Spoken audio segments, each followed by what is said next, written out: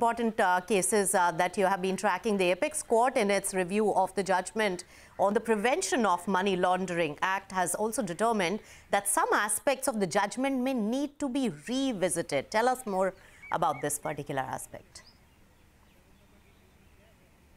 Well, Justice Khanwilkar-led bench of the Supreme Court had come out with its judgment on PMLA, whereby various provisions of the PMLA, which give uh, sweeping powers to the Enforcement Directorate, were in fact upheld.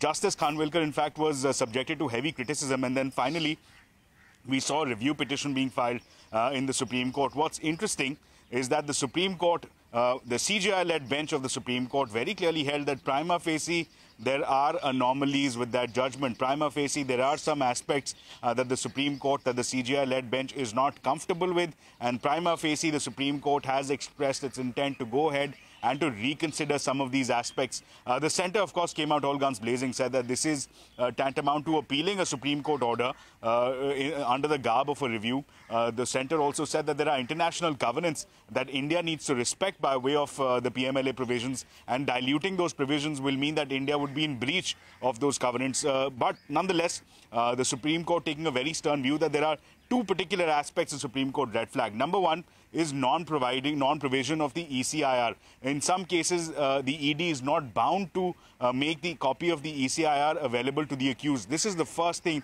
that the Apex Court has taken objection to prima facie. The second is uh, the burden of proof. Normally, under normal criminal procedure, it, the burden of the proof lies on the state. The state has to prove that the accused person is in fact guilty. It is the other way around as far as the PMLA is concerned, where the burden of proof is on the accused. The accused is the one responsible for proving his innocence.